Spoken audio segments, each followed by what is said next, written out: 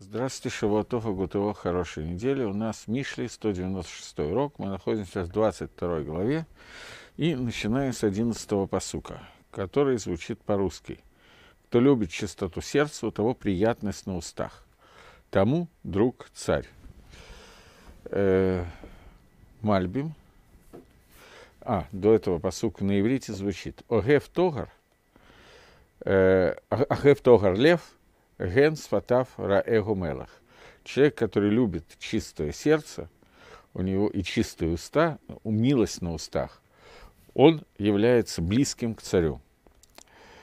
Э, Мальбим объясняет, что что такое огев тогар, человек, который любит чистоту сердца и приятность на устах, он близок к царю.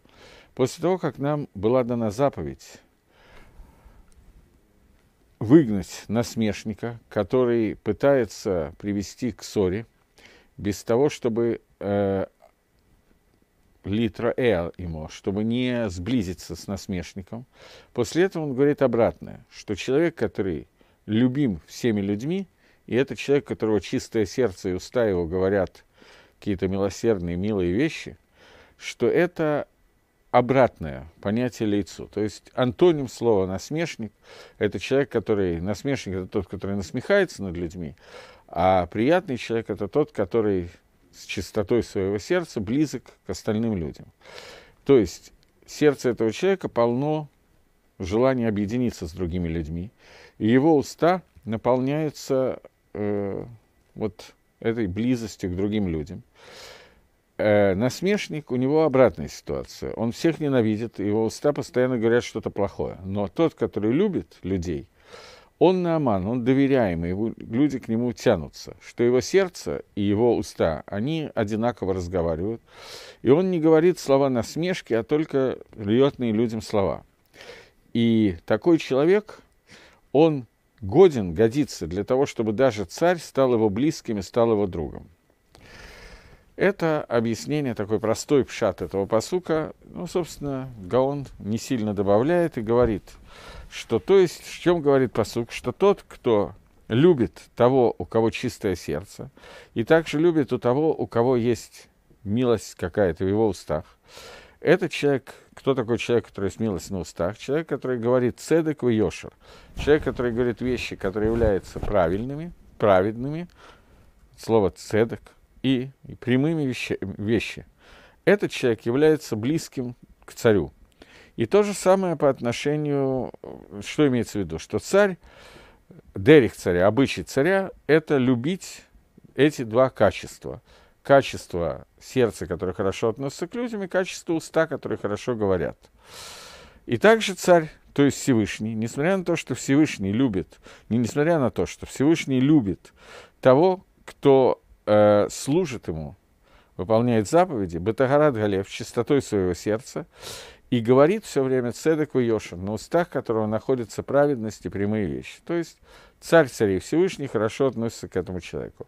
Здесь есть одно маленькое такое вот «но», которое надо э, упомянуть, разговаривать на эту тему я, наверное, не буду, что существует человек, который, уста которыми говорят хорошо, красиво, правильно, и существует человек, ну, это тот же самый человек, человек, который говорит приятное окружающим его людям. А есть человек, который называется подхалимом, который занимается тем, что он подхалимничает другим людям и говорят, говорит то, что им будет приятно, но при этом сердце его немножечко в другом месте находится.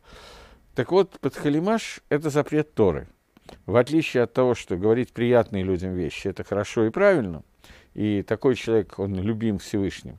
Человек, который занимается подхалимажем и говорит человеку, который не является праведником, является, в общем, рашой, говорит удобные тому человеку вещи, вместо того, чтобы выполнить миссу, упрекать ближнего, он, наоборот, его как бы поддерживает и все время ему подглаживает, подлизывается и так далее, это не имеет ничего общего с тем, о чем говорит этот посуд. Поэтому и Мальби и Магро указали, что это человек, у которого есть чистое сердце. Это указал Шлом Амелов. То есть это должен быть человек, у которого пив волейбо шавим, у которого сердце и его уста думают одинаково. То есть речь идет о человеке, который сообщает отношению к ближнему те слова, которые приятны этому человеку, но не потому, что я знаю, что ему приятно это услышать, а потому что это действительно человек, который праведный, человек, который хороший, поэтому я к нему обращаюсь с хорошими словами. Но в случае, если это говорится для того, чтобы сподхалимничать и так далее, то в этой ситуации об этом этот посук не говорит, и это не называется э, пиво либо шавим, не называется, что уса и сердце одинаковые, и это не называется авадат батагарат лев. Поэтому здесь подчеркивает Шломамелах, что для этого должна быть полная чистота сердца. Это такой коротенький посук, и сам, особенно тут даже никто ничего не пишет. А вот теперь следующий посук, он уже немножко более сложный. Он говорит, глаза Всевышнего охраняют людей или охраняют знаний, но дело отступника он расстраивает. Этот посук уже надо как-то лавин. Но в начале Мальбим, который дает довольно относительно короткий комментарий, в начале на иврите посук звучит «Эйней Гашем нуцру даат, вейсалев деврей богет». Глаза Всевышнего, они производят знания.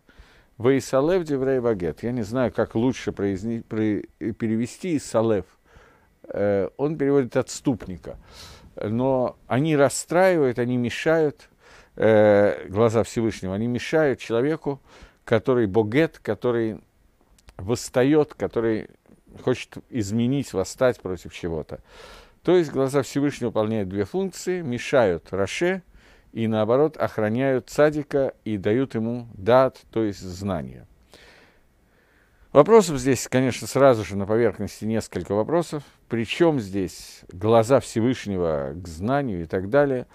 Ну, вопрос, которым, наверное, уже не надо заниматься на 22 главе Мишли, но тем не менее такой, в кавычках, вопрос, что означает глаза Всевышнего, когда у Всевышнего нет тела, и смотрим комментарий, который сразу будет объяснять. Прежде всего, перевод слов. Мальбим указывает здесь на слово, которое слово «дат». Глаза Всевышнего, они производят «дат». Говорит Мальбим, я уже объяснял, что это указывает на вещь, которая рождается таким стопроцентным познанием, посредством размышлений первых или посредством ощущений и тому подобное. То есть это речь идет не о том, знание, которое получено сверху, это знание, которое человек связан с ним. Мы много раз обсуждали, что да, происходит слово хибур, соединение, и глаза Всевышнего делают так, что у человека есть соединение с каким-то понятием Торы. Это первый комментарий Мальбима, который так вот находится в комментарии на слова. Теперь э, возвращаемся к самому посуку Биур Гаиньян, объяснение того, что произошло. Эйней Хашем Нацрудат, говорит э, Шлома Амелах, что глаза Всевышнего, они производят познание знания. Говорит Мальбим, что вот законы мудрости, ты не найдешь в них э, муфет, э, ты не найдешь в них каких-то чудес, но они все приняты по э, традиции, микубалим, они все должны быть понятны и приняты.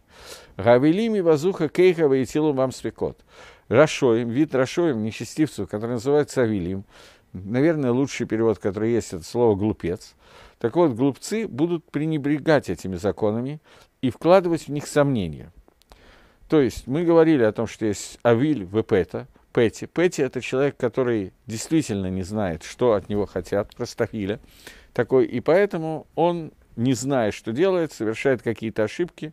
Авиль – это человек, который познал, он знает на самом деле, как правильно себя вести, но из-за его тайвы, желаний всякие вещи делать, он сам рождает эти сомнения для того, чтобы ему легче было поддаться своей тайвы. Тай заставляет его поддаваться сомнениям. Так вот, Авелим, они будут пренебрегать твоими законами и в них вкладывать свекот сомнения. И также Твуна Вескель, понятие Твуна, Бины и Дата, разума, несмотря, э, они, э, они входят в действие с помощью исследований, которые человек делает своим разумом. И немногие люди думают, раздумывают над тем, что происходит. И также не все могут об этом хорошо продумать если не будет у них каких-то, каких-то исадот, каких-то основ. То есть для того, чтобы что-то понять, нужны основы. После этого многие вещи можно познать с помощью анализа. Но нужны какие-то основы, которые э, получились исследованиями каких-то вещей, но существует понятие Гашгоха Всевышнего. Э, это то, как Всевышний наблюдает и воздействует на различные вещи, которые насаживает в сердца человеческое какие-то да. То есть есть способ познать мир с помощью наблюдений, исследований, анализов философии. Существует еще одна вещь, что когда Акодыш Брагу наблюдает за человеком, он вкладывает в его сердце какой, какой-то дат, какое-то понимание, какое-то знание. И это первые такие вот мысли, которые есть у человека, первый мускалот, первый разум, который получает человек. И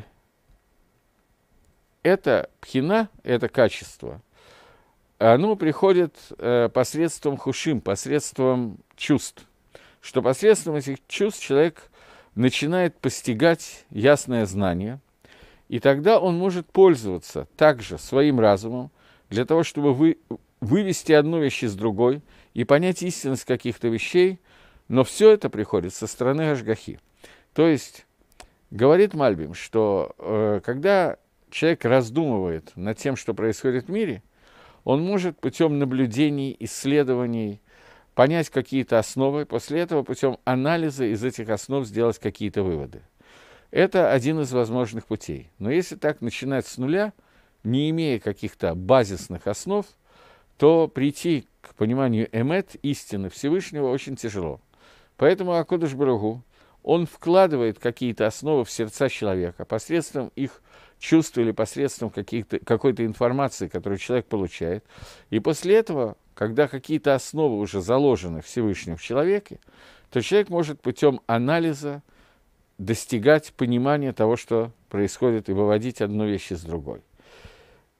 Поскольку глаза Всевышнего, они рождают, они творят, создают вот это понятие дат – и следует, следует из этого такая вещь, что человек, который э, хочет спорить с истинным знанием, а Кодыш Брагу искривляет его слова, и человек этот вместо того, чтобы прийти к познанию мира, поскольку его задача изначально этого не делать, то он отступник, он человек, который хочет иначе как-то вести себя, не с точки зрения мудрости Всевышнего. Поэтому Акодыш Брагу его мысли, его знания расстраивает таким образом, что он приходит к абсолютно неверному результату.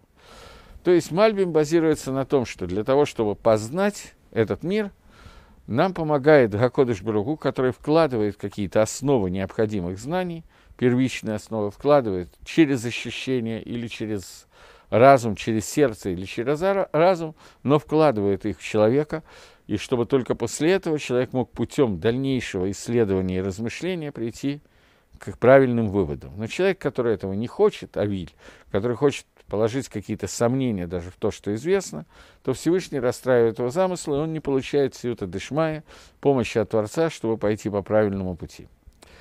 Это комментарий Мальбима. Гаон говорит, он обращает внимание на то, о чем Мальбим вообще решил не разговаривать. Потому что в посуке есть трудность, на которую я с самого начала указал, а именно, что посук начинается словами «глаза Всевышнего». Это то, что создает понятие «дат». Гаон начинает свой комментарий, в общем, базирует его на том, что означает понятие «эйней Хашем» – «глаза Творца». Он говорит, что глаза Всевышнего, они охраняют праведников для того, чтобы они не забыли знания.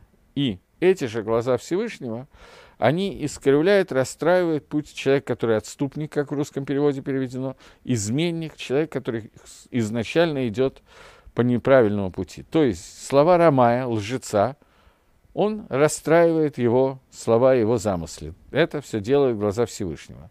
Для того, чтобы стало известно его рамаутство, его обман. Мы когда-то уже обсуждали, что есть слово «рамай», лжец, и слово шакран, лжец. Рамай – это человек, который не говорит ложь, такую прямую ложь в открытую, а который говорит полуправду для того, чтобы в дальнейшем увести в сторону, увести в сторону от понятия, от понятия правды. Так вот, для того, чтобы его рамаут этого человека стал известен, Хакодыш Барагу смотрит на него и делает так, чтобы этот рамаут стал виден не только ему, но и остальным людям. Что имеется в виду? Говорит Гаон. Есть такой посук в Торе, даже два посука на эту тему есть. Шохат Явер Ивней Хахоми Веселев Деврея Цадиким. Что э, взятка – это то, что ослепляет глаза мудрецов и искривляет слова праведников. Другой посуд говорит, что шохат, взятка, она ослепляет зрячих и искривляет пути слова праведных. То есть посук меняет немножко, два посука меняют немножко порядок и отношение, что к чему. Один раз сказано слово хахамим, другой сказано слово пикхим. Хахамим – это мудрецы, пикхим – это зрячие. Имеется в виду то, что сказано. Ведараштава хакартава шал тагейте вина эмет нахона давар. Здесь приводится нам посук из книги Дворим, где сказано, вот ты будешь лидрош, будешь толковать, и будешь исследовать, и спросишь очень хорошо, и увидишь, что эта вещь правильная. О чем говорит этот посук? В, э, в Сифре, Сифре это комментарий, ранний комментарий на книгу Дворим, сказано, что э, здесь надо лидрош, это мидраш такой, надо как лидрош. Ведараштова хакарта, и будешь исследовать, я не знаю, как лидрош, толковать и Хакарта – это именно исследовать. Дарашта, и то, и другое переводит, по-русски надо сейчас перевести, Дарашта Хакарта словом «я буду исследовать», ты будешь исследовать. Что значит исследовать? Спрашивать свидетелей. Хакарта – это исследовать, что на эту тему считает Тора. Шаалта – и будешь спрашивать слова мудрецов – это посох, который обращен к Даяну, который говорит, как Даян, судья, должен вести судебный процесс. Ты должен вначале расспросить этим, потом исследовать, что считает на эту тему Тора, и после этого спросить слова наших мудрецов. На первый взгляд здесь все непонятно. То, что заканчивается по сути, говорит, что ты исследуешь и выяснить, что вещь, о которой говорит этот человек, это эмис нахон давар. Она правильная и она верная. Что за разница есть между словами правильное и верное. Эмис – это истина, нахон – это правильное, верное. И это то, что здесь сказано два раза одно и то же слово. На первый взгляд, эмет и нахон. Э, как бы я ни перевел по-русски, это не отразит смысл этих слов. А что имеется в виду? Зачем дважды говорится одно и то же? Сказали наши мудрецы, где они это сказали, в Геморе Сангедрин, что э, есть такая гемора, которая выясняет, в начале Сангедрина выясняется, какие псаки может давать Рав, какие псаки Рав не может давать. То есть где граница того, что человек знает и не знает, и как он может решить какую-то вещь. Потому что человек, который знает на 100%, ему не надо спрашивать Рава, как правильно делать. Человек, который не знает, он должен спросить того, который знает. Что называется знать? Какой уровень знаний должен быть? Отвечает Гемора так, что если тебе понятно и известно ту вещь, которую тебя спрашивают, который ты сам себя спрашиваешь. Ки ахатха, как вопрос, связанный с сестрой, то скажи ему. А если, если это ясно тебе как утро, то тоже скажи ему. А если нет, то не говори. Э, вначале простой смысл того, что говорит Гемора. Если тебе задается вопрос, и ты знаешь ответ на этот вопрос, так же, как ты знаешь, что нельзя жениться на своей сестре, это понятно, что знает большая часть людей, это простая вещь. Или если для тебя оно так же ясно, как свет, который есть утром, ты видишь, что происходит при этом свете, то тогда ты можешь отвечать на вопрос. Но если это не настолько понятно, то есть есть какие-то сомнения, ты не настолько ясно знаешь ответ, как то, запрещена тебе в жены твоя сестра или нет, то не говори ответа на этот вопрос. На первый взгляд, это геморрой тоже не очень понятно потому что здесь есть повторение одного и того же разными словами. Что означает «знаешь как сестру» и что означает «знаешь как утро», на первый взгляд, это одно и то же. Зачем надо повторять? Объясняет Гаон эту гемору. Он говорит, что любой даян, любой судья, на самом деле не только судья, когда есть некая разница между даяном, который судья, и равом, который объясняет, говорит, как правильно себя вести. Но разница, она лежит немножко в другой плоскости. И тот, и другой говорит, что считает Тора на эту тему. Только Даян, он забирает деньги у одного и отдает другого. У него есть право заставить что-то делать, поскольку это касается отношений между людьми. А Рав, он отвечает на вопрос, можно или нельзя, и он не может заставить, может быть, в какой-то случае может, но обычное состояние Рава – это не заставить что-то делать, а ответить, как, что имеет в виду в этом Всевышний, что имеет в виду Тора, что можно, что нельзя. Но и к тому и к другому относится то, что мы сейчас будем читать у Гаона Вильна. Он говорит, что любой раб, любой даян, у него есть нужда, необходимо, чтобы он знал две вещи. Первая вещь, что он должен быть бакибы Тойра, он должен знать Тору и знать закон до конца. То есть он должен знать, что имеется в виду в Торе, что имеет в виду Тора в данном случае. Второе, он должен быть бакибы и шиво шалёлом. Он должен знать, что происходит в мире. Он должен быть специалистом по миру, по обычным мировым вопросам. Что имеется в виду? Он должен своей мудрости понимать свидетелей Баалайдиним, свидетели, которые к нему пришли, или подсудимые, две стороны, которые судятся с ним, или человек, который пришел задать вопрос, все то же самое. Правильно ли сформулирован вопрос? Честно ли они говорят?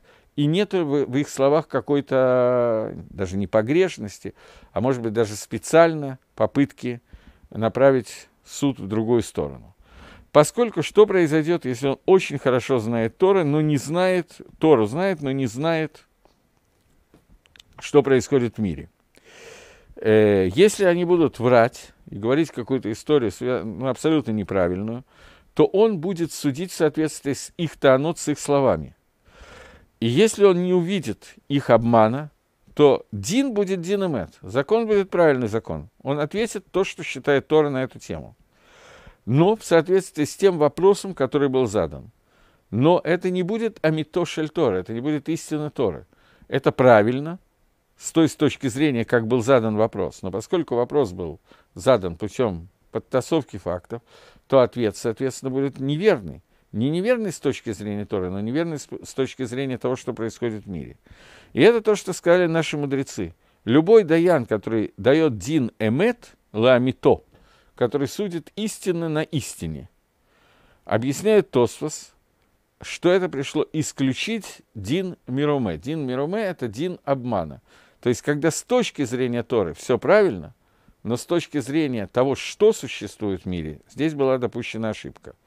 Имеется в виду, что Дин Мируме е псак эмет. Псак Галаха, он абсолютно правильный. Но он соответствует словам подсудимых или словам э, свидетелей. Но это не Амитошель Тойра. Амитошель Тойра, истина Торы, это псак, который должен соответствовать не только словам, которые были произнесены, но тому, что есть на самом деле. И это то, о чем сказано. Дарашта мингаэдим. Ты должен лидрош этим. Вехакарта минатойра. И только потом узнать, что Тора считает на эту тему. А после этого спросить слова Софрим, слова наших мудрецов. То есть вначале нужно лидрош этим, чтобы увидеть, что они не говорят неправду. После этого нужно узнать, какой дин устанавливает в этом случае Тора, когда мы знаем, что произошло на самом деле. И после этого это тот псак, который даст подобный даян, это будет псак эмет, истинный псак. Потому что дин, который он говорит, это дин эмет, мина Тойра эмет. Это раз. И два, находа давар, это вещь верная, потому что здесь нету шекера. Поэтому Гемора вранья. Поэтому Гемора говорит о том, что Даян, который дан Дин Эмет Ванахон, Эмет с точки зрения Торы, и Нахон с точки зрения мира, поэтому что там нету вранья. Поэтому устанавливаются здесь два направления. И об этом сказали, что если тебе эта вещь так же понятна, как твоя сестра, то есть для тебя Дин Мингатойра совершенно понятный и естественный. Ты знаешь, что Тора думает на эту тему. Так же, как знаешь, что сестра запрещена брату из Торы. И но это первое условие. Второе, что это должно быть барурки бокер. Это должно быть ясно, как утро. То есть здесь уже речь не идет о законах Торе. Здесь речь идет о том, как проверить истинность их таанот. Правильно ли говорят свидетели. Или они врут для того, чтобы уметь словить вранье и увидеть, когда Дин и Мет, когда они правильно говорят и когда нет. Об этом сказано, что шохот, когда дается взятка Даяну, то она ослепляет глаза мудрецов. Потому что и с другой стороны сказано, что взятка, она ослепляет глаза зрячих. Мы с самого начала, в начале я читал комментарий Гаона и сказал, что эти два посука, что не посука, а высказывание, что шохот ослепляет глаза мудрецов и шохот взятка ослепляет глаза зрящих, здесь как бы повторение идет в Торе, и кроме повторения, почему-то изменено. В одном месте сказано хахамим, в другом пикхим. В одном мудрецы, в другом зрячие. Объясняет Гаон, что такое ослепляет глаза мудрецов. Кто такие мудрецы? Мудрецы Торы. То есть те, которые знают, что думает Тора на интересующую нас тему. Пикихим, зрячие, это те, которые умеют правильно видеть, что происходит в мире. То есть, которые могут оценить то, что их спросили, это соответствует правде или нет. И здесь сказано, что Даян, он должен быть специалист в двух вещах, в мире и в Торе. Что если он будет и хахам, и пикеях, и мудрец, и зрячий, но даже в этой ситуации взятка, которая ему дается, она ослепляет его глаза, и э, ослепляет глаза тоже в двух направлениях. В направлении хохбы, мудрости Торы, в направлении пикихута, умения видеть того, что, что происходит в мире. Взятка, которую дает Даяну, заставляет его увидеть неправильно то, что происходит в мире, и взятка может с тем же успехом заставить его неправильно истолковать закон Торы, и вместо того, чтобы указать закон, который для него должен быть ясен так же, как то, что сестра запрещена брату, то точно так же он может неправильно истолковать какой-то другой закон – и в результате ошибка может находиться в двух плоскостях. Первая плоскость – плоскость Торы, вторая плоскость – плоскость этого мира. Два взгляда, которые могут быть ослеплены. Э, и тем не менее, о, шохот, взятка это ослепляет. Поэтому в обоих случаях написаны глаза, делают человека слепым. Но здесь есть изменение языка. В одном месте сказаны хахоми, в другом пикхим.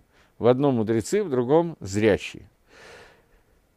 Продолжение этого посуга Мишли, который говорит, что Исалев деврей цадиким, что она искривляет взгляд цадиким.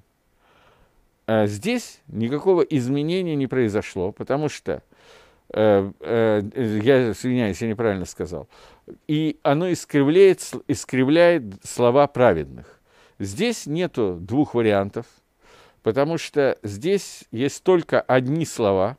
Дибур, высказывание, оно всегда одно. Один пса Галаха, один рассказ и так далее. Но разум и глаза, их всегда два. Есть два взгляда, и поэтому есть два глаза, о которых идет речь. Э, человек должен, один глаз, работать на знание Торы, на то, чтобы увидеть, что Тора говорит на эту тему, и второй глаз должен работать в направлении на э, то, что происходит в мире. Понятно, что человек и то, и другое видит обоими глазами, но некая аллегория, которая об этом говорит. И это нужно для того, чтобы Дин был эмет ламито, потому что чтобы закон, который он даст, был закон эмес ламито, истина истин. Поэтому Всевышний создал человека с двумя глазами. Один для мудрости Торы – другой для вопросов, связанных с действиями внутри этого мира. И если у человека есть только один взгляд, только Тора на бездействие этого мира, он может быть очень праведный человек, но он не может быть даяном. Если у человека есть прекрасные знания этого мира, он может быть большим специалистом, но без знания Торы он тоже понятно, что в даяны пролезть не может. Но уста, которые есть у человека, они всегда одни. Несмотря на то, что есть верхние и нижние губы, но уста – это уста одни. И поэтому, когда мы говорим про пророков, то у пророков тоже упомянуты два глаза. Понятно, что эта аллегория имеется в виду не два глаза, а два взгляда, которые даются пророкам, которые Всевышний раскрывает. И поэтому есть два глагола, которые употребляются для пророчества. Глагол на иврите, я говорю, роэ, и глагол хозе. Роэ – это видеть, хозе – наверное, тоже видеть. Только некоторых пророков называют Роим, некоторые называют Хазан. Это пророки, первые и последние пророки. Есть некое разделение внутри, э, внутри Танаха. Часть пророков называется Навиим Решаним, часть Навиим Ахраним. Навиим Решаним, это возьмем какие-то простые примеры, Машира Бейна брать не будем, но Шмуэль Нави – Натана Нави, это из Навиим Решаним, это первые пророки. И есть пророки Малахи, Хагай, которые называются Навиим Охраним последними пророками. К одним относится слово лирот, к другим слово лехазот. И то, и другое слово по-русски, я не знаю другого, и, другого просто глагола, как видеть, видение, которое им показано. Но здесь употребляется два разных слова, чтобы их указать. И об этом говорится э, в Геморе Ивамот, что первые пророки видели Баспаклария Майра через прозрачную стекло, через прозрачную призму, поэтому они называются Роим, те, которые видят. Как сказано, Килынави Гайоми Крали Фанейх Роэ, что пророка, который я сегодня, я буду называть перед тобой Роэ, видящий.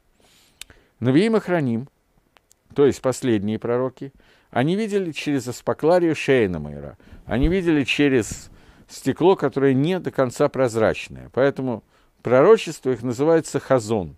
Очень часто в пророчествах написано хазон такой-то, например, хазон Ишаяу, хазон Авадия. Перевод слова хазон – это то же самое, что рея. Только хазон – это больше арамейский корень, который вошел в иврит через Танах, а роэ – это чисто корень Торы, поэтому вот так он называется маре, видение, которое было у пророчества. Э, но хазон – это уровень меньше, чем уровень роэ. Э, точка. Значит, здесь есть одна вещь, которую надо обратить на него внимание, потому что в Геморе и Вамот названы первые пророки Роим, вторые пророки Хозим, и сказано, что первые видели через Аспаклария Маира, вторые через Аспаклария Шейна Маира, но здесь есть один, одна проблема. То, что написано, что кроме Маширабейну никто не видел через Аспакларию Маира – что Аспаклария Майра – это уровень пророчества, который только был у Афнавиим, отца пророков, а именно Маширабейну. Ответ очень простой, что Маширабейну видел на 100% через Аспакларию Майра, то есть это была яркость его видения, яркость понимания того, что ему показывают, была, отличалась от всех пророков. Поэтому называется Авганавим. Он видел не примерами, а прямо фактами, которые есть на самом деле. Остальные пророки им показывали через какую-то призму, но уровень прозрачности этой призмы, уровень понимания того, что показывает призму, был разный. У первых пророков это называется по отношению к последнему аспаклария Шейна Мейра, по отношению к Маширабейну это называется тоже аспаклария, которая не видна. Но по отношению к Навиим это прозрачное стекло, через которое им показывают. У Навиим Храним, даже по отношению к Навиим Решаним, даже по отношению к первым пророкам и последних пророков, это называлось אספקלריא שאינה מאירה, это называлось призма, которая не просвечивала, она не давала полностью света, не давала полной ясности картины. Но, тем не менее, есть два глаза, правый и левый, и есть два видения, которые нам дается у пророков. Это אספקלריא מאירה и אינה מאירה, о котором мы только что говорили. Когда же мы говорим про Даяна и Рава, то сегодня это один глаз работает на Тору, второй глаз работает на понимание этого мира, и только соединив эти две вещи, вместе мы можем дать псак, который есть. Иначе, если нам не хватает понимания мира, то мудрец, к которому придут, он просто, зная, что говорит Тора в этой ситуации, не сможет увидеть отличие этой ситуации от той ситуации, которую показывает Тора, и придет псаку, который, на первый взгляд, с точки зрения Торы верный, но с точки зрения Мациюта, с точки зрения того, о чем идет речь, это будет псак неверный. Вот. И это то, что мы говорим про Нави, мы все время говорим, когда говорим про пророка, несмотря на то, что у него есть два видения, два уровня того, что он видит, тем не менее пророчество называется словом Нави. Нави происходит от слова «п» – уста, то есть тот, который высказывает устами, а уста у него всегда одни, поэтому говорит он одинаково, поэтому к слову «дибур» относится только единственное число, а не множественное число. число. И это то, что сказано. «И положу я слова мои в твои уста». Нави, слово нави, корень слова нави, пророк, это в сватаем, высказывание устами. Точка. Теперь, говорит Гаон Мивильна, что, как известно из разных источников, например, Гемора Баобасра, 12 дав, что мы говорим «хахам одив минави», что мудрец, он находится выше, чем находится пророк. Поэтому у Хахама есть три дорги, есть все три уровня. Первое, две – это глаза, то есть глаза мудрецов в Торе, глаза пикихим, глаза зрячих в действии, и слова, которые говорит мудрец, которые находятся в устах. И эти три качества выходят из хахама. И когда мы говорим про шохот, то шохот, взятка, которая дается Даяну, мудрецу, она мисалев гаколь, она все стирает, она делает так, что совершенно все становится искривлено и непонятно. Когда Даян не берет шохот, то несмотря на то, что жгиет миевин, кто может понять ошибки, тем не менее, Гашем, он охраняет человека для того, чтобы он не попался в своей мудрости и в своей пикихуте, в своей умении видеть, и не ошибся ни в одном из них. Это понятие дат. Понятие дат, когда он совмещает мудрость Тору с мудростью этого мира, видит, кто из этим говорит неправду, кто говорит правду, и делает анализ того, что произошло, и дает псак, который верный эмет ламито. Но мы знаем, что кто может застраховать человека от ошибки? Ошибка бывает очень частая вещь, когда человек не до конца понял, что произошло, или не до конца понял, как это связано с каким-то законом Торы, и то, и другое возможно. Но здесь нам говорят, что глаза Всевышнего – это то, о чем говорит этот посук. Секунду. Эйней, сейчас. Эйней Гашем нуцрудат вейсалев богет.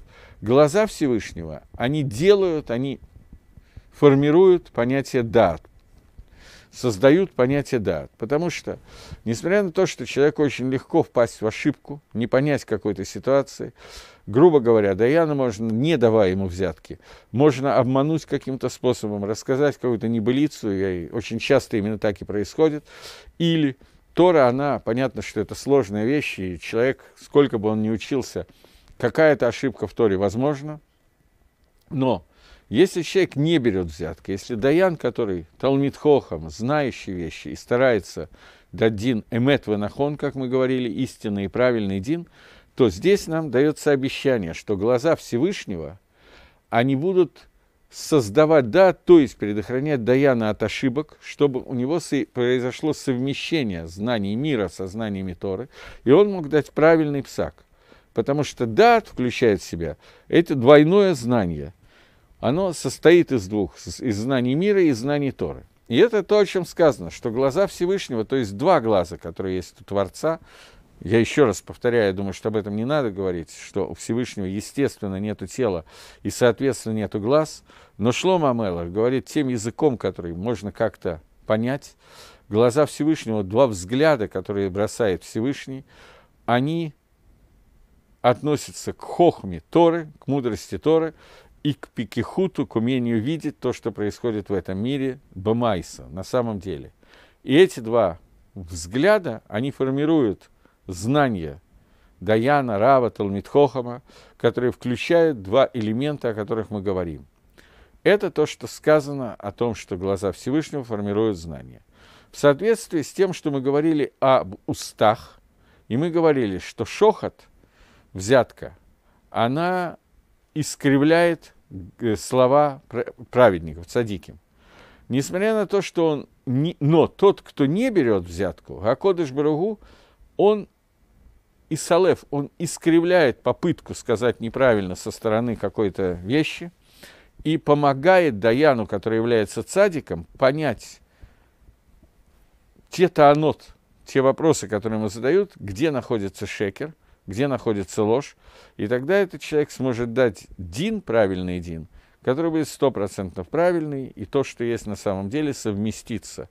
И знание этого мира со знаниями Торы, и Торы этот мир будет совмещены, и из них обоих произойдет взгляд, правильный взгляд дат Тойры, и псак Галаха, который сказан устами по поводу того, что нужно в этой ситуации. Я слышал от одного из своих учителей, Рафаэлезера Кугеля, он уже сегодня не первой молодостью, тогда, наверное, тоже был не очень первый, но он учился у такого человека Хазаныша, одного из ну, наиболее известных глав поколений времен, я не знаю, Второй мировой войны, раньше, может быть, чуть позже. Так вот, Хазаныш, по словам Рафаэля Зракуга, Хазаныша было совершенно невозможно обмануть. Когда к нему приходили с вопросом, он тут же усекал, видел каким-то образом, что вопрос, который формулируется, в нем есть что-то не то, и отвечал, что ты не пришел получить ответ на вопрос, ты пришел уговорить меня, чтобы я тебе сказал то-то и то-то, я этого делать не буду, и отказывался продолжать разговор на эту тему. Вот, э, это Хазаныш. С другой стороны, многие рабоним, даже большие Талмидей Хахомим и так далее, понятно, что человек, который приходит к Раву с целью его обмануть, то иногда это очень нетрудно сделать, какую-то ошибку вкладываешь в свои слова, которые незаметно проглатываются, и тот, кому ты задаешь вопрос, не может уловить этой ошибки, поскольку откуда он может знать, о чем идет речь. Вот. И тут бывает так, что человек натыкается и ошибается. Вот здесь, в этом посуке, написано, что человеку, который по-настоящему праведен, человек, который ведет в нужном направлении, ему дается определенная сюта дышмая для того, чтобы ответ, тем не менее, оказался верный, либо чтобы он засек ошибку, либо даже не засекя ошибку. Он оговаривается, но ответ бывает верный. Такое тоже бывает. Есть несколько мест э, в Геморе, я помню, Рова в одном месте, где Рова неправильно сказал ответ на вопрос, и потом его кто-то спросил, как же ты так сказал, вот есть Барайта, который говорит иначе. Он говорит, ой, я ошибся, а потом выясняется, что история была чуть-чуть другая, чем ему пересказали. Забыли какой-то прат, какую-то деталь истории пересказать, и в результате Псак Галаха был абсолютно верный, ответ он дал абсолютно правильный. Но понятно, что такие истории случаются больше с Ровой, а не с сегодняшними э, людьми, поскольку Рова это был Рова, это было время Талмуда, каждое поколение идет все ниже и ниже, и те, кто спрашивает, и те, кто отвечает. Вот я однажды слышал историю про строительство одного города в государстве Израиль, когда спросили одного крупного рава, вот собирается строить там город, можно там селиться или нет, правильно это или нет, и показали место на карте, где будет построен этот город, и показали, сдвинув на некоторое расстояние, на пару сантиметров, показали точку на карте неверная, для того, чтобы это оказалось построено не на территориях, а на, государ... на землях Израиля, которые были ну, с 48 -го года, а не с 67 -го. Тогда в то время были опасения, что территории будут отдаваться, еще что-то. И люди для того, чтобы им дали место для строительства участков и, соответственно, можно было разбогатеть на этом, показали просто неправильное место и получили, так сказать, броху в кавычках. А трава для того, чтобы строить этот город, просто городок, город, трудно назвать, просто для того, чтобы иметь гехшер, разрешение это делать, и Вопрос был изначально неправильный. Раф не мог знать, что этот вопрос неправильный, соответственно, ответ был на тот вопрос, который дается. Вот здесь говорится о том, что человек, который настолько искренне верит во Всевышнего и такой серьезный Талмитхохом, и знает Мациют, его все равно можно обмануть. И тем не менее, в этой ситуации Акодыш Баруху оказывает определенную сиюта дышмая, и глаза Всевышнего делают так, чтобы вот этот дат, который появился у человека, помогло сделать псак, который будет правильный. В основном, конечно, Пшада Пашут, этот посох говорит про даяние, комментарий Гаона, но он относится к любому вопросу, который может быть задан Раву. Вот, я думаю, что мы успеем еще один посук пройти, следующий. 13-й посук, который говорит, ленивый говорит, лев на улице посреди площадей убьет меня. Такой короче посук про, лё, про льва в мире животных. На иврите. Омар Ацель, говорит лентяй. Арье Бахуц, лев, который находится снаружи, Бетох Рхавод, который находится внутри, внутри улиц города, он Эрцах, он меня убьет. Объясняет э, Мальби. Говорит лентяй, лев, который на улице, внутри, э, гор, внутри улиц города, лев, который снаружи, внутри улиц города, я дословно переведу, поскольку Мальбим и Гагро оба, будет писать, оба будут писать про разницу между понятиями улицы и понятия наружу, хуц. Говорит Мальвин, что есть разница между понятиями хуц и рхов. Хуц – это снаружи, рхов – это улица. Хуц – это то, что находится позади домов, что там нету никакого ршударабин, там, там нету общих владений, но только жители Хацера, двора, пользуются тем, что находится позади их дома. Рхов, улица – это место шука, место рынка. То есть там собирается общее владение, там собираются люди этого города я потерял, вот. И обычно это находится в далеких городах, отдаленных от какого-то Ишуа, от каких-то других городов, и в таких местах есть дикие звери. И на дорогах, то есть там, где никого нету, за домами, где пустое, пустая часть, пустое владение, там собираются дикие звери, могут туда прийти. Но на дорогах города там диких зверей нету, потому что там есть люди. Но там тоже хорошо, там есть бандиты, разбойники. И не так в городе, что даже в окраинах города, за пределами города, обычно диких зверей нету. Если это не маленькое поселение, а какой-то большущий город – то на окраинах этого города будет мало людей и мало животных, потому что люди, они страшнее животных, и животные убегают.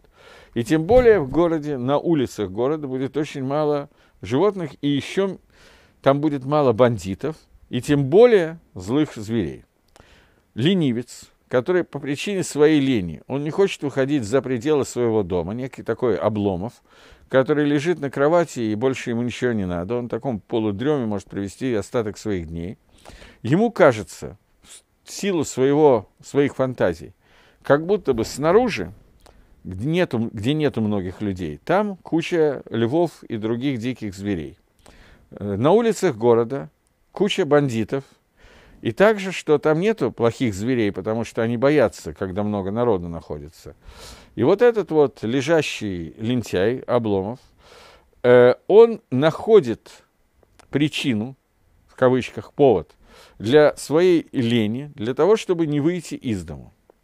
И он упомянут здесь в качестве примера такого э, лентяя, который ленится изучить Тору и мудрость Всевышнего. Что если ему скажет, что пойди, выйди, начни заниматься Торой снаружи, э, то есть начни заниматься, чтобы прийти к Торе, найти, начни заниматься какими-то исследованиями, которые находятся рядом с Торой, но вне Торы, для того, чтобы прийти к Торе, то он скажет, что там есть лев, как объясняется, что э, он даже приведет аргумент, что пи за рот, уста чужие, это такая глубокая яма, в которой можно провалиться. Он боится, что если он начнет чем-то заниматься, таким вот посторонним от Торы, то он упадет в понятие кфира, в понятие э, отрицания основ, и поэтому он боится заниматься чем-нибудь посторонним. Очень, на самом деле, такой вот набожный, так сказать, человек боится заниматься чем-то, кроме Торы, тогда ему скажут, что выйди на улицы города. То есть э, занимайся теми вещами, что много народу этим занимается, и никто не спотыкается об этом об этом. То есть ты видишь, там нет опасности падения. Он скажет, что я боюсь, что меня убьют разбойники, люди, не звери, но люди, что он не поймет и не э, постигнет того, что он изучает, и тогда лучше не учиться, потому что если я буду учить Тору, я пойму неправильно. И если я пойму неправильно, я буду неправильно делать, потому что я буду думать, что это можно, а это нельзя. И поэтому лучше не учиться, и лучше так вот э, провести внутри дома всю свою жизнь, и все будет так хорошо и замечательно. Это человек, который находит объяснение своей лени, но на самом деле вопрос, что здесь первично, а что вторично. И поэтому говорит Шлома Амелах, что говорит Ацлан, говорит лентяй, что там находится лев, здесь находятся убийцы, посижу-ка я дома и не буду ничего делать. Говорит Гаон, он идет немножко по другому пути или немножко по другому пути.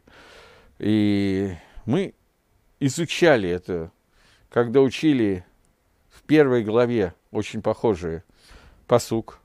Но я не знаю, успеваю ли я сегодня, или мне надо будет в следующий раз к нему вернуться. Ну, попробуем начать хотя бы. Он говорит, что такое слово худ снаружи? Это место, удаленное от города, и говорится, что там лежит лев. Окей. Что такое Рховод, улицы города? Это место не совсем улицы города. Сегодня мы называем Рхов улица. Но это какие-то дороги, которые находятся рядом с городом, вблизи, у самого города, но не город. Э, и это, говорит Гаон, надо, чтобы это смотреть, надо открыть первую главу, 20-й посук. Я думаю, что я не успеваю это сделать, поэтому чуть-чуть продвинемся так. И там вот рядом с городом, э, там не, нету львов, кончились.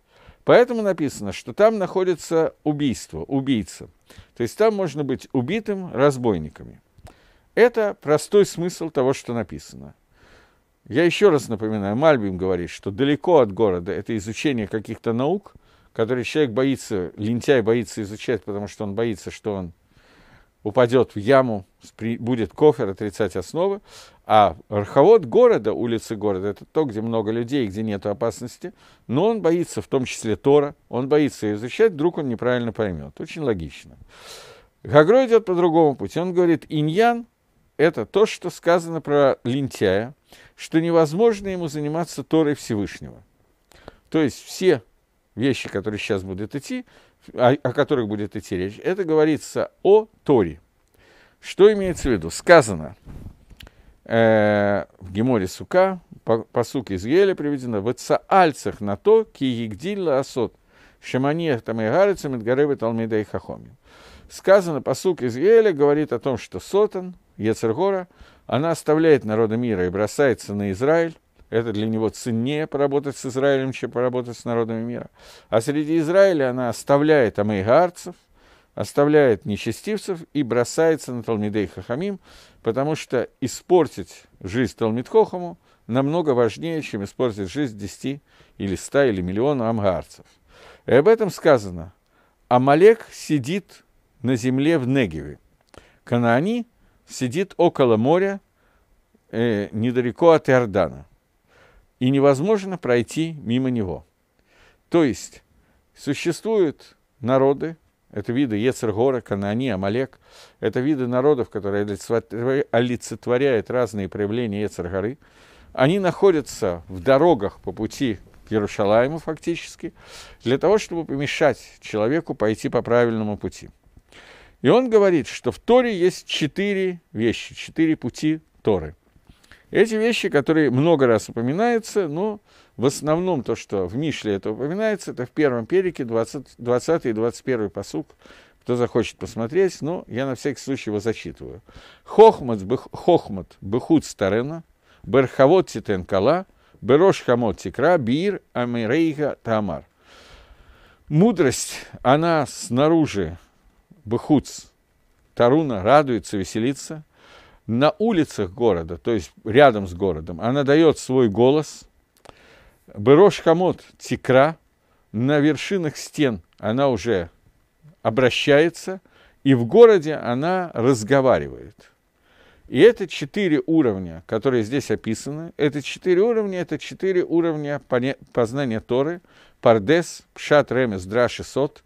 Четыре, четыре дороги изучения Торы, четыре пути. Как там было объяснено – и здесь сказано хуц и рховод. Наш посуд затрагивает только два из них. Хуц и рховод. Что имеется в виду? Там находится Эцергора, и там она мидгаре, и там она задирается и пытается прийти к человеку. Пам хуц, пам барховод. Иногда там, иногда там. Э, и сказано, что эти две вещи, а не больше, не названы все четыре вещи, которые сказаны в, дво, в первой главе, а здесь названы только две. Потому что четыре вещи, которые сказаны, это два, четыре уровня, которые есть в человеке. Они соответствуют четырем аспектам Торы. А именно, нефиш, рох, нешама, вахая, четыре уровня человеческой души, низкая душа, более высокая, еще более совсем высокая, они соответствуют нигдан, напротив них. Есть две клипы, две кожуры, две оболочки, которые оболочки тумы, которые есть. Это животная душа и животный рух. Нефиш бхемит, рух бхемит. Но выше этого клепот уже не дотрагивается, и ра не достигает. К нышаме и к хай ра не достигает. И не может уже туда оно ни при каких путях подняться. Поэтому здесь названы только две из них, потому что названы две препятствия, два препятствия, которые подстерегают человека. И что говорит глупец по отношению к этим двум препятствиям? Хуц то, что находится снаружи. Это сказано относительно, кто находится там снаружи, почему тогда боится ленивец идти, там находится Арье. Рховод на улицах находится убийца. Потому что Ецергора, она очень сильно воюет с Талмидей Хахомим, которые учат Тора Всевышнего. А в Торе есть дво, две части, которые делятся на четыре части – есть хуц, то, что находится снаружи, наружная часть Торы. это пшат и драж. Мы сейчас объединяем все четыре вместе. Пшат и драж – это то, что откуда мы даршим, это драж, что можно, что нельзя. И пшат – это простое понимание. Это дело, это не дело, это можно, это нельзя. Э, это называется рховод, как уже объяснено в другом месте, а именно в первой главе. Это называется вот не совсем хуц, это рхов. Тора, она спасает человека от животных и от разбойников. Как мы недавно учили по поводу того, что человек идет в лесу и ничего не видит, берет свечку, что-то ему помогает, а Тора, которая спасает его от всего. Тора называется огнем, светом, что это соответствует нефиш бгемит и руах бгемит, которая полностью спасает человека от этих двух клепот. И это, теперь нам надо объяснить слово хуц. Слово хуц – это пшат, который спасает от дурных, от плохих зверей. То есть человек, который знает пшат Торы, Тора спасает его от этого вида Эцергары, и он не попадает в руку испытания, которое дает ему душа по имени Нефиш. Нефиш Бьемит, то есть та сторона души, которая заведует тайвой и подобными вещами. Для того, чтобы от нее спастись, надо точно знать, что можно, что нельзя, и для этого достаточно пшата Тора. Раховод – это более близко к центру, это приближение к городу, это руах бгемит, это животный руах, более высокая ступень. И так же, как пшат спасает от плохих зверей, хавод спасает от разбойников. То есть это другой вид Ецергары. Ецергары, которая тоже как бы животная часть Ецергары, но она уже, я не знаю, как это сказать, с человеческим лицом. Есть лев, который может просто сожрать, а есть бандит, который может ограбить, развернуть, перевернуть все наизнанку. И когда Талмидей Хахомим растут в Торе, тогда эти две части клепот, они уходят от них, они постепенно перестают ими заниматься. Поэтому основная работа Эцергора – это мешать тому, кто учит Тору, узнать пшат и драж, для того, чтобы они не стали Талмидей Хахомим, для того, чтобы они не дошли до того, чтобы Тора защитила их от этих двух вещей.